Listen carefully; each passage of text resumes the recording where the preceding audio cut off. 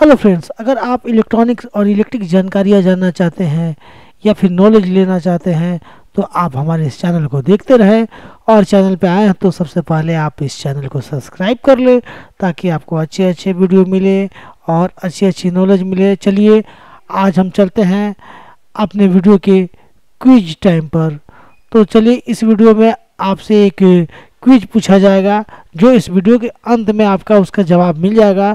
तो अगर आप जवाब दे सकते हैं तो कमेंट बॉक्स में ज़रूर जवाब दीजिएगा। तो चलिए, पहले टाइम में आज का सवाल ये है कि कंडेंसर और पीएफ में क्या अंतर है? और चलिए, अब हम अपने वीडियो को शुरू करते हैं, जो आपको ट्रांसफार्मर टू डोजल ट्रांसफार्मर पर चल रहा था ई रिक्शा चार्जर 48 वोल्ट की। तो दोस्तों पिछले वीडियो में हम देख रहे थे कि हमारे ट्यूटोरियल ट्रांसफार्मर की जो प्राइमरी के बाद हम सेकेंडरी के लिए आप रिबन से टेपिंग कर रहे थे, हमने उसको टेपिंग कर दिया। ये देख लीजिए, पूरी टेपिंग हो गई। अब इस पर हमको सिर्फ़ सेकेंडरी वायर लपेटना है। तो सेकेंडरी वायर इसमें सिर्फ़ 48 वोल्ट की है। वो आपको 15 नंबर की वायर है और 70 टन है। तो चलिए, ये 15 नंबर की वायर हम 70 टन उसी तरह लपेटा गया है, जिस तरह मैंने प्राइमरी लपेटी थी। और इसमें 15 वोल्ट के, के लिए एक अलग से टेपिंग निकली हुई है तो वो फ़ैन के लिए आप उसको बीच में 15 वोल्ट के लिए 20 टर्न पे आप निकाल सकते हैं और हमने निकाल दिया है। अब इसके बाद चलिए हम इसकी असेंबलिंग करते हैं। तो थोड़ी सी हम इसको फास्ट फॉरवर्ड कर रहे हैं क्योंकि इसमें आपको बहुत ज़्यादा समय लग जाएगा। ये देखिए हम इस नट को जैसे पिछली बार हमने खोला था वैसे ही इसको हमें फिर रबड़ पर लगाकर ताकि आपकी बॉडी शॉर्ट ना हो या फिर कहीं करंट होने की कोई संभावना ना हो, उसके बाद हम इसको ट्रांसफार्मर रख देते हैं। उसके बाद फिर उसकी जो रबड़ है, उसको रबड़ रख देते हैं ताकि हमारी ट्रांसफार्मर टाइट हो जाए। और उसके बाद आप देख सकते हैं हाँ आप सुविधा अनुसार ट्रांसफार्मर को इधर से उधर घुमा लें क्योंकि रोटरी की आपकी कनेक्शन करनी है। और रोटरी की कनेक्शन करने के बाद आप और नट वोल्ट वाशर लगाकर उसे पूरी के पूरी तरह टाइट कस दें और टाइट कसने के बाद आप इसको फिर हम इसकी इनामिल वायर को रिमूव करेंगे और रिमूव कर कर जहाँ हम हमारी लूप है, उसको हम रिमूव करके रोटरी में और सारे कनेक्शन जोड़ेंगे और जो जैसे सिंपली चार्जर की जोड़ी जाती है, वैसे ही सिंपली इसकी भी कनेक्शन है। कनेक्शन को इसका अलग नहीं है। इसलिए आपको काफ़ी परेशान होने की कोई ज़रूरत नहीं। ये देखिए, हम इसे टाइट कर लेते हैं। आप इसे जीन से भी टाइट कर ले तो काफ़ी अच्छा है। लेकिन मैं इसे, उसके बाद देखिए, हम सारी के सारे इनामिल को रिमूव कर चुके हैं। कुछ इनामिल जो लूप है, उसको रिमूव करना बाकी है, उसको हम रिमूव कर लेंगे। और उसके बाद बारी बारी से हम रोटरी में जोड़ेंगे। यानी कि जो हमारी रोटरी में सबसे बाहर वाली है, उसको हम एक नंबर पर जोड़ेंगे और उसके बाद वाले दो नंबर पर इसी तरह आपको रोटरी की कनेक्शन करनी है। और रोटरी कनेक्शन मैं आपको फिर कभी चार्जर के बारे में बता दूँगा। वैसे मैंने एक दो वीडियो बनाई है, आप चाहे तो वो देख सकते हैं। तो जल्दी से आप जल्दी जल्दी रिमूव कर लीजिए। और उसके बाद मैं आपको थोड़ी सी वीडियो को मैंने फास्ट फॉरवर्ड किया है, क्योंकि बहुत लंबी वीडियो करने से कोई फ़ायदा नहीं है। और दोस्तों, आपको मैं ये कहूँगा कि अगर आपने हमारे चैनल को सब्सक्राइब नहीं किया है तो चैनल को सब्सक्राइब कर ले और जो भी ज्वाइंट है, उसे ज्वाइंट कर ले, लेकिन इसमें कोई ख़ास ज्वाइंट नहीं है। मेरी वायर कुछ छोटी हो गई थी, इसलिए हम इसे जोड़कर रोटरी पर हम ले जाएँगे और एक हम कॉमन पर जोड़ेंगे। यानी कि जो सबसे अंत वाली है, वो कॉमन पर जुटेगी और इस तरह आप रोटी पे सारी कनेक्शन कर लें और कनेक्शन करने के बाद हम उसको फिर अगले पार्ट में दिखाएँगे कि आपको देखिए लीजिए ये हमारी सारी कनेक्शन है। और इस कनेक्शन को हम जल्द से जल्द कंप्लीट करके जोड़ देते हैं ताकि आपको ज़्यादा समय ना लगे और उसके बाद ये देखिए रोटरी इत्यादि पर ये एक नंबर है, एक नंबर पर जोड़ दिए। इसी तरह आप सभी के सभी लूप जोड़ लें और जोड़ने के बाद हम इस पर करंट देकर चेक करेंगे कि हमारी वोल्टेज जो 48 वोल्ट है, वो कम से कम छप्पन, साठ, चौंसठ वोल्ट आनी चाहिए।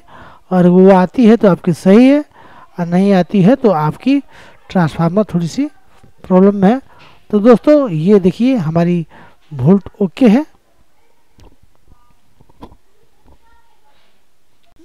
उसके बाद सारे कनेक्शन को आप अच्छी तरह से कर लें, क्योंकि कनेक्शन आपको बिल्कुल सिंपली है। कनेक्शन जनरल चार्जर की तरह इसका कनेक्शन है मैनुअल चार्जर की तरह, जैसे सिक्स एम्पियर दस एम्पियर की चार्जर आप कनेक्शन करते हैं, बिल्कुल वैसे ही इसकी कनेक्शन है। और वास्तविकता देखी जाए तो बिल्कुल वही चीज़ ये भी है। लेकिन सिर्फ़ इसमें क्या है कि इसमें टूडोरियल ट्रांसफार्मर जो है राउंड वाले ट्रांसफार्मर इसका उपयोग है। और साथ में इसमें आपको एक अलग से जो ब्रिज रेक्टिफायर दिया गया है, वो तीन या दो या चार लोग पैरेलल में लगा देते हैं ताकि उसकी जो आपकी रेक्टिफायर है, उसकी एम्पियर बढ़ जाए। बस सिर्फ़ इतना ही। और ये अल्युमिनियम है तो देखिए यहाँ पर अल्युमिनियम की जो सेकेंडरी वायर है, ये अल्युमिनियम है। अगर कॉपर रहेगी तो कोई बात नहीं।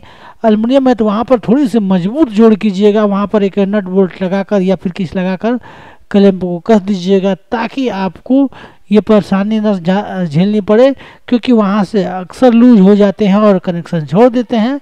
तो बस सिर्फ़ आपको इतना ही करना है। और इस बारे में चार्जर के बारे में मैं अलग से एक वीडियो बनाऊँगा जिसमें आपको फुली कंप्लीटेड आपको चार्जिंग की कनेक्शन ए टू जेड आपको बताई जाएगी। यहाँ पर मैं सिंपली बेसिकली बना रहा हूँ, इसलिए थोड़ी सी उतनी टाइम नहीं मिल पाई जितनी टाइम चाहिए। तो चलिए इस वीडियो को आप देख ले और समझ जाए कि आपके पास अगर ई रिक्शा चार्जर अड़तालीस वोल्ट की जनरल ट्रांसफार्मर वाली आती है, ये टूडोरियल ट्रांसफार्मर वाली तो आप उसे मना कर देते हैं। तो यही है बात दोस्तों कि आप उसे मना ना करें। थ्योरी आपको मैंने दिखा दिया। आप उसके हिसाब से आप उसको रिवाइंड कर सकते हैं। सिंपली अगर आपको और भी ज़्यादा परेशानी हो तो आपको सिंपली क्या करना है? मैंने ऐसे तो आपको डिटेल दे दिया है। आप इस डिटेल पे बाँध सकते हैं रिवाइंड कर सकते हैं। यानी कि जो प्राइमरी है, आपकी 306 या 310 टन टोटल रहेंगे। 15-15 टन पर आपकी लूप रहेंगी, जो रोटरी कनेक्शन में जाएगी, वो होगी आपकी प्राइमरी और सेकेंडरी में आपको ज़ीरो उसके बाद 20 टन पे आप निकाल दीजिए फ़ैन के लिए, और सीधे 70 टन निकाल दीजिए आपको अड़तालीस वोल्ट टेपिंग के लिए। उसमें आप 15 पंद्रह वायर नंबर, पंद्रह यूज़ कीजिए, चौदह यूज़ कीजिए या सोलह यूज़ कीजिए, आपको अपने कैपेसिटी के अनुसार, लेकिन पंद्रह परफेक्ट होगा, क्योंकि पंद्रह आपके लिए अच्छा है और चौदह थोड़ी सी हार्ड वायर हो जाएगी, लेकिन उसके लिए भी मैं आपको एक और इससे भी एक सिंपल उपाय बताऊँगा। अगले वीडियो में कुछ वीडियो आने वाले हैं, जिसमें कि आप और सिंपली तरीके से मोटे वायर को कैसे रिवाइंड कर सकते हैं, क्योंकि इसमें थोड़ी सी कठिनाई होती है। क्योंकि मोटे वायर डालना और उसके बाद अब देखिए हमारी सब कनेक्शन हो गई है तो इसमें हम लाइट देकर हम चेक करते हैं। तो ये देखिए हमारी फ़ैन ओके हो गई 12 वोल्ट यानी कि 12 वोल्ट ओके हो गई। तो आपको यहाँ पर अब डीसी वोल्ट माप लेनी है कि डीसी वोल्ट आपके परफेक्ट है कि नहीं है। ये देखिए डीसी वोल्ट हमारी ओके है। तो चलिए ये वीडियो सिर्फ़ इतना ही। अब चलिए हम इसके बाद अगले इस सवाल जवाब के बारे में हम बात करेंगे, जिसने मैंने आपसे एक सवाल पूछा था। तो उसका जवाब ये है, पीएफ और कंडेंसर दोनों एक ही चीज़ है, लेकिन कंडेंसर और पीएफ में फ़र्क ये है कि कंडेंसर जो होते हैं, उसमें पोलराइज होते हैं, यानी कि नेगेटिव और पॉजिटिव, वो डीसी करंट और एसी करंट में भी पोलराइज नहीं होते हैं, और साथ में पीएफ में कोई पोलराइज नहीं होते हैं, यानी कि पीएफ आप कैसे भी लगा सकते हैं, उसमें निगेटिव पॉजिटिव से कोई मतलब नहीं। लेकिन आपको कंडेंसर में मतलब है, अगर उल्टा लगा देंगे तो आपकी कंडेंसर फट जाएगी, ख़राब हो जाएगी। तो ये वीडियो सिर्फ़ इतना ही। और अपने दोस्तों को ज़रूर शेयर कीजिएगा और कमेंट में अपना राय ज़रूर दीजिएगा। So thanks